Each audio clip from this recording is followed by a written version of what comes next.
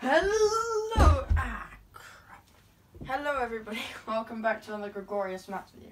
Today, we'll be looking at topology 2.1, which signifies that we're going to be looking at algebraic topology.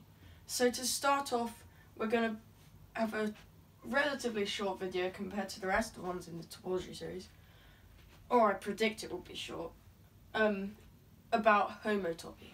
Okay? So, first let's consider an example. So, the function f of x equals 1 plus um, 1 plus x squared times x minus 2 squared. Okay? And the function runs goes from the closed interval between 0 and 2 to the real line. Okay? So what does this function look like? Well, roughly, it looks like this. I'll make it big, I'll make it. I'll pretend that this whole bit here is. Looks like that. So it's nearly the constant function f of x equals 1, but with a small deviation at the top. Okay? So, what we want to do with homotopy is to continuously deform this function into f of x equals 1, or let's call it g of x, okay? So, one way we can do it is by con constructing a family of functions. So let's say f of one, f sub 1 of x equals 1 plus 1 half x squared times x minus 2 squared. Then we get a function which is even closer to the constant function. If we have f sub 2 of x equal to 1 plus 1 over 3 x squared times x minus 2 all squared. It's even closer. It gets closer and closer and closer. Okay? But this is not exactly what we want to do. We want to index these functions using the closed interval between 0 and 1. Okay? So instead of using the integers, we can do this instead. We can have a family of functions f sub t of x. In fact, I'll just call them f sub t for now. And they run through t in the closed interval between 0 and 1. Okay? And f sub t of x is defined as being 1 plus 1 minus t x squared times x minus 2 squared. Okay? So now, now that we have this function here, we also want it to be so that f sub 0 of x is equal to f of x, and we want it so that f sub 1 of x is, well, the function which we're continuously deforming it to, i.e. 1. Okay? So this is why we've constructed it like this. Because f sub 0 of x is 1 plus, well, 1 times x squared is just x squared times this, which is precisely f of x. And f sub 1 is 1 plus 1 minus 1 is 0. 0 times this whole thing will be 0. We'll just get 1. So let's write this down. This means that f sub 0 of x equals f of x and f sub 1 of x equals, well, 1, okay? So notice how f sub t of x is in the real line for x in the closed interval between 0 and 1, 2, sorry, okay? And this whole family of functions is corresponding to is indexed by t in the closed interval between 0 and 1. So we can think of this function as inputting points pairs xt in the closed interval between 0 and 2 cross the closed interval between 0 and 1. Okay? We know how to put a topology on these. So, uh, using product spaces, which I did in topology 1.7. So, finally, we're dealing with topological spaces. Okay? And hence we can arrive at the definition of homotopy. Okay? So, I just definition. Definition. Yeah, okay. Two continuous maps are F and G, sorry, are homotopic if. Two continuous maps F and are homotopic. If there exists some F, capital F, which takes you from S cross I to T, okay, where I is the closed interval between 0 and 1, it's good to shorten it because comes up so frequently when talking about homotopy and stuff. And S and T are topological spaces, okay? Such that, okay, capital F of S0 is equal to F of S for all S. And f of s1 is equal to g of s. Okay, again for all s. So let's take a quick look at an example. Okay, say in general, so that was our first example, and we constructed a homotopy by f sub t of x equals this. So capital F of uh, x t, for example, is equal to this, and then we can see that capital F of x, 0, would be f of x capital F of, okay, etc., etc.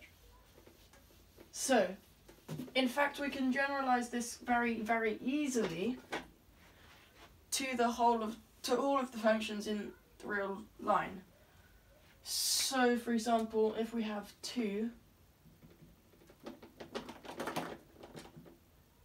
if we have two continuous maps f and g, okay, um, where f, and they both go from the real line to the real line.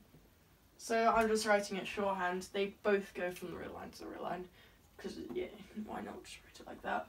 Okay, then f is homotopic to g. That's all that's required. They go from the real line to the real line. They're continuous, they're homotopic. Why?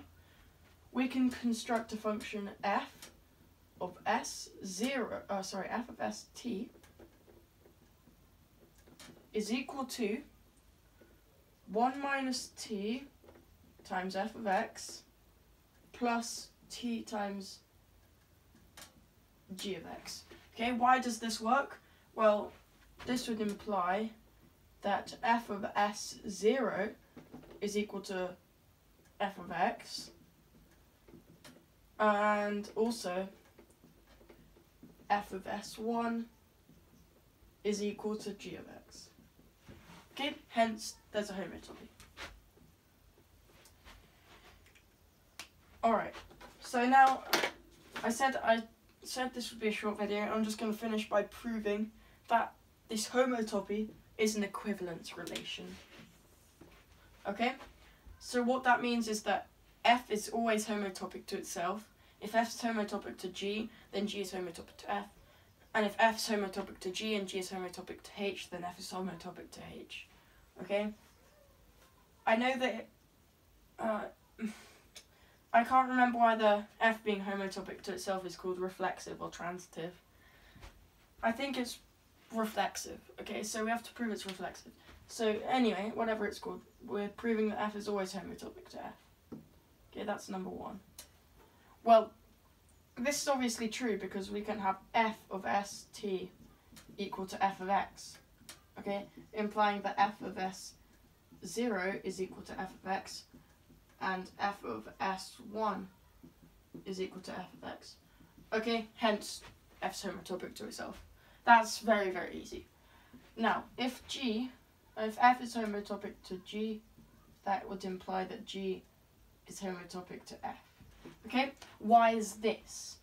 Well, we have, if we have F of ST equal to, sorry, if we have f of s 0 equal to f of x, and f of s1 equal to g of x, okay, then these two are homotopic, right? So we can construct an inverse function, kind of, g of st equal to f of s. Oh, sorry, not f of x. f of s. Sorry. I'm so used to saying f of x that I'm getting mixed mixed up. Mixed up? I'm gonna smash your body. Okay, anyway.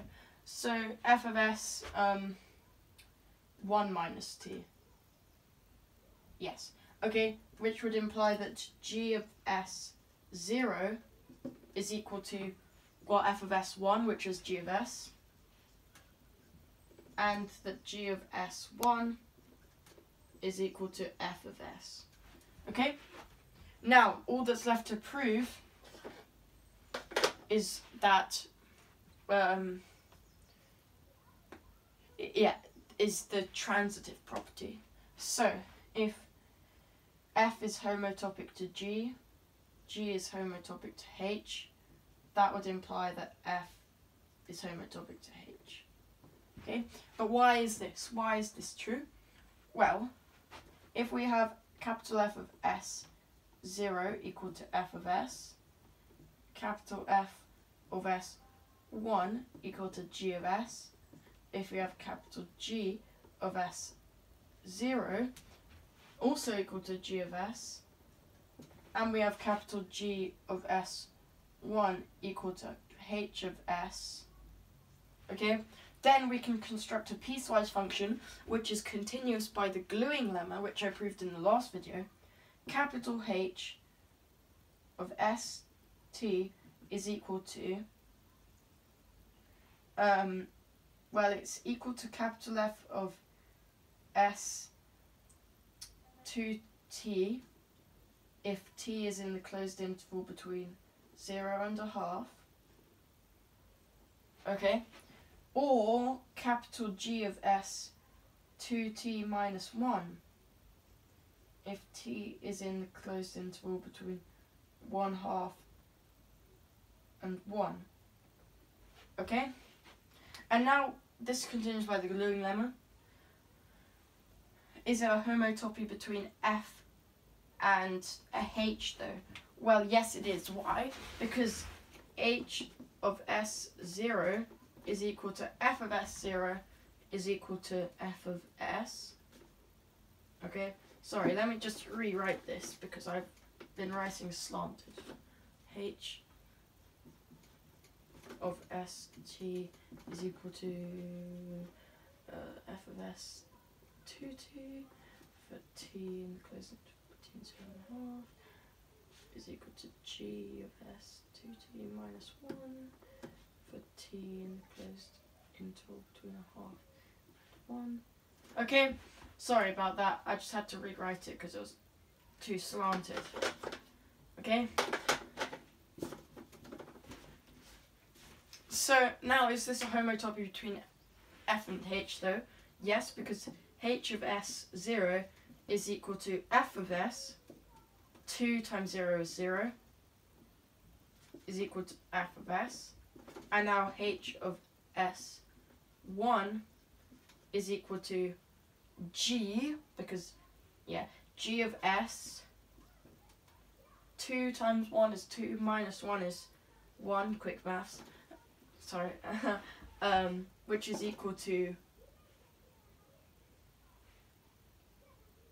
oh, sorry, uh, h of s, yeah, there it is, h of s, okay? Therefore, f is homotopic to H. This completes the proof.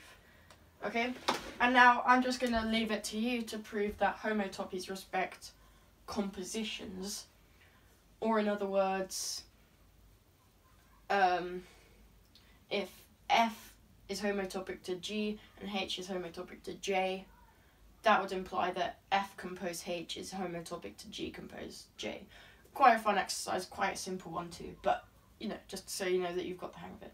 Goodbye.